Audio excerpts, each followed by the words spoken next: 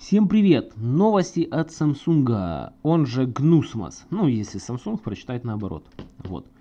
Samsung Electronics начинает массовое производство твердотельных накопителей SSD 30. То есть 30,72 терабайта для корпоративных систем следующего поколения. Samsung объявила 20.02.18 года о начале массового производства SSD накопителя PM1643. Вот он на экране. А, для использования его в корпоративных системах хранения данных следующего поколения. Используя последнюю Samsung V NAND э, технологию, 64-слойную память с 3-битными кристаллами объемом по 512 гигабит каждый, этот 30-терабайтный накопитель обеспечивает в два раза большую емкость и производительность по сравнению с предыдущим накопителем от Samsung 15 терабайт, представленный в марте 2016 года. Как говорят в Samsung, эти сверхплотные накопители могут хранить 5700 5-гигабайтных Full HD фильмов. И это все в малюсеньком 2,5 дюймовом устройстве. Интересно, какие такие корпоративные системы хранят 5700 фильмов, да еще и Full HD? Уж не 18 ли плюс? Шутка. Кроме всего прочего, в дополнение к удвоенной емкости уровень производительности также вырос, и как было сказано, в два раза выше его предшественника. А, вот.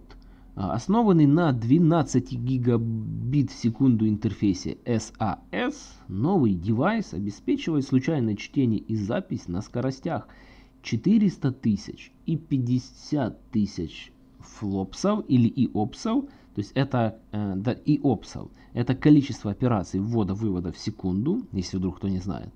И последовательное чтение и записи на скоростях до 2100 мегабайт в секунду и 1700 мегабайт в секунду соответственно. Ну, наверное, это много. То есть вот эти фильмы Full HD, судя по всему, должны копироваться быстро.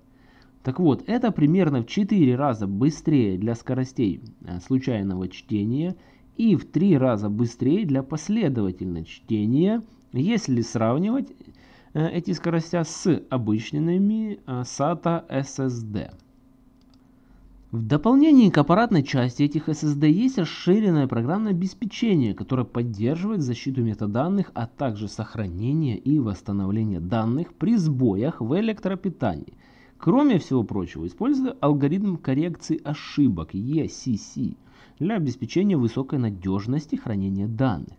Кроме всего прочего, эти устройства обеспечивают надежный уровень выносливости одной полной записи устройства в день, что позволяет записывать 30 терабайт Э, данных каждый день в течение пятилетнего гарантийного периода. Ох, я сомневаюсь в этом, ну да ладно.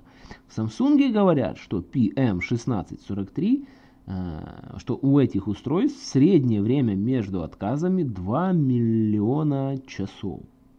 Производство первых партий э, началось уже в январе. Также компании на протяжении года планируют добавлять модели 15 терабайт 7,6 терабайта, 3,8 терабайта, 1,9 терабайта, 960 гигабайт и 800 гигабайт.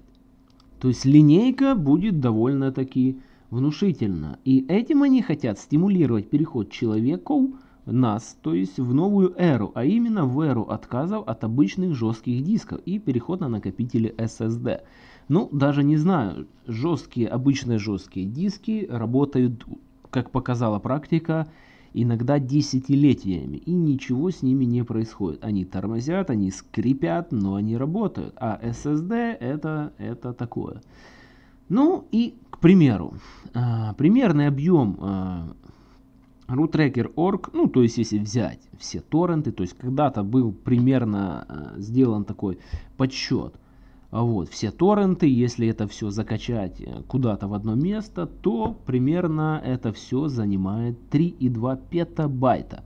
Это, грубо говоря, 3200 терабайт. Получается, нужно 106,6 или 107 накопителей этого типа. Но цена этого накопителя неизвестна. Скорее всего, она будет известна только там, определенным людям, которые будут, или компаниям, которые захотят его купить. А, но цена его предшественника два года назад, ну и сейчас а, колеблется от 9900 долларов до 12 тысяч долларов.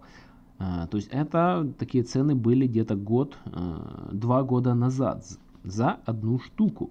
Соответственно, за это время цена памяти подросла. Плюс и это тут в два раза больше объем, то есть можно прикидывать, что это как минимум 20 тысяч долларов за одну штуку. Вот так вот. То есть вряд ли мы встретим такие накопители где-то в магазине подвального типа. Вот. Да я думаю, даже и в хороших магазинах мы такое не встретим. Потому что для рядовых пользователей это конкретно за один а такой SSD-шник это очень большая сумма.